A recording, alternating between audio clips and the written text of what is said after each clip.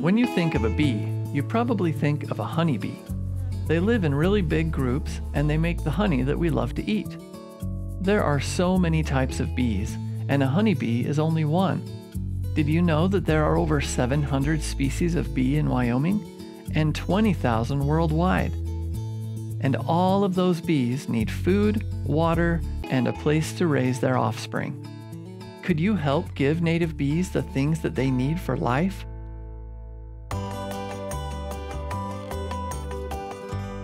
Building for Bees on this episode of Nature WY.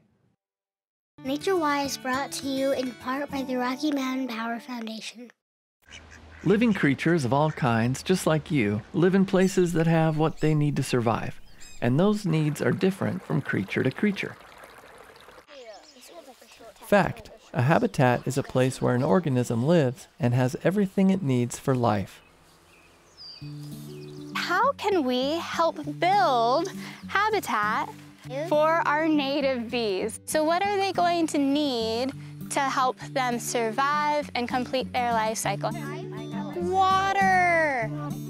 Water is going to provide super important habitat not only for these beautiful fish we're watching, but for any of our insects. They're all going to need a, a water source. On a hot day, bees may need to sip some water. Where is another place you might find bees? Flowers. Adult bees sip sugary nectar from flowers to give them quick energy for all that flying around. But nectar isn't enough for a life of a bee. If you ate sugary candy and nothing but candy, soon you wouldn't feel so good. Bees are the same. They need more than just nectar, they need protein rich pollen. Bees eat a little pollen for themselves, but they gather a lot more than that. Can you see the brightly colored pollen this bee has packed on her back legs? So, what are they doing with all that pollen? So for native bees, pollen is the baby food that they're leaving so their young can grow and develop. We are going to go through a native bee life cycle. So all insects go through four major stages in their life cycle. Yeah. Our first stage for a native bee is a egg, drop on down.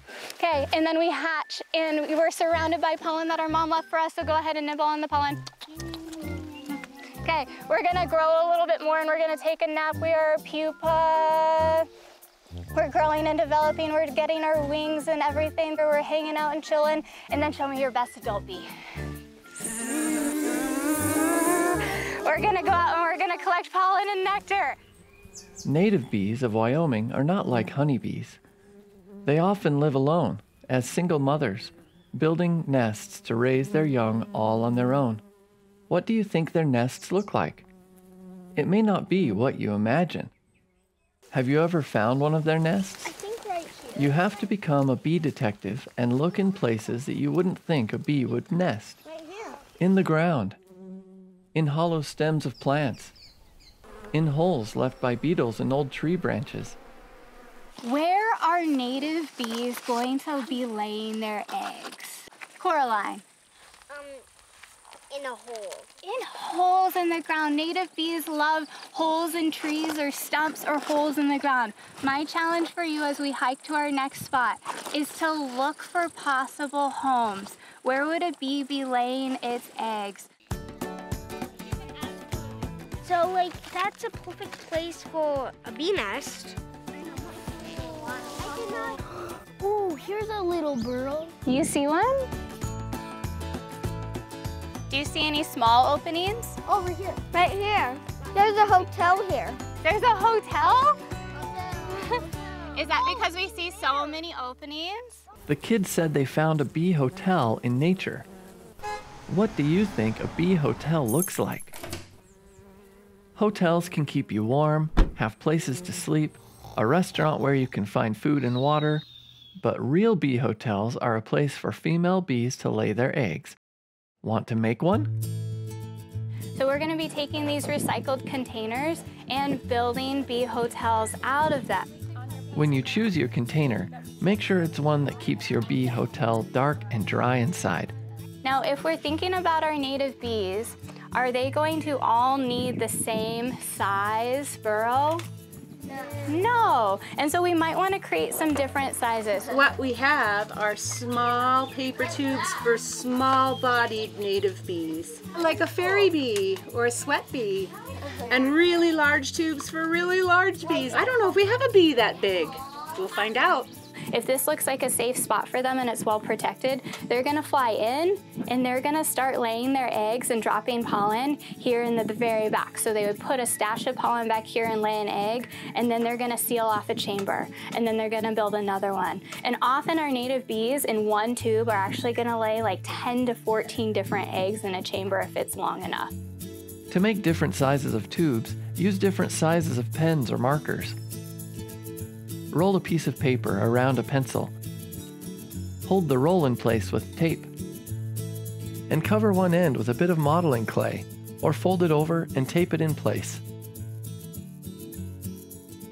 When you're done with your bee house, you're gonna mount it like this, right? Because the bees need to fly in there and make their nest. It doesn't want to stand upright, it wants to be on its side. Be patient. It may take time for the bees to find your hotel and lay eggs. If they do, leave your bee hotel up until spring, when the new bees will emerge hungry for a sip of nectar. There are so many ways you can help native bees. Just a tiny bit of space will do. You can build a sipping station with pebbles for bee landing pads so bees can get a drink on a hot day. You can plant some native wildflower seeds in a pot or build a whole garden of flowers for bees so bees have nectar and pollen to eat. You can even do a little less in your yard and leave some messy corners so bees have shelter and a chance for more nesting sites.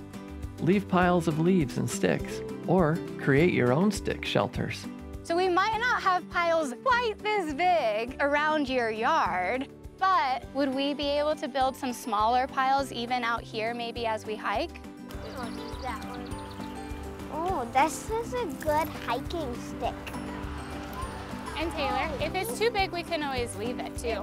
You got it? Oh, look, this is my pick. okay. Make some rock piles or rock walls with clever spaces for shelter and nesting places. Or even just a patch of bare ground.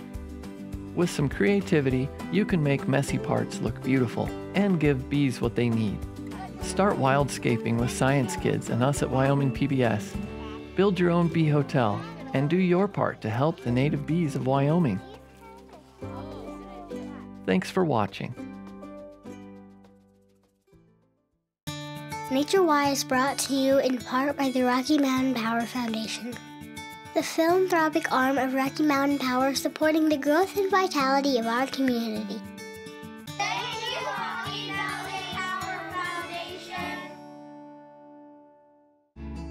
And by a generous grant in support of community outreach aligned with the nature documentary My Garden of a Thousand Bees.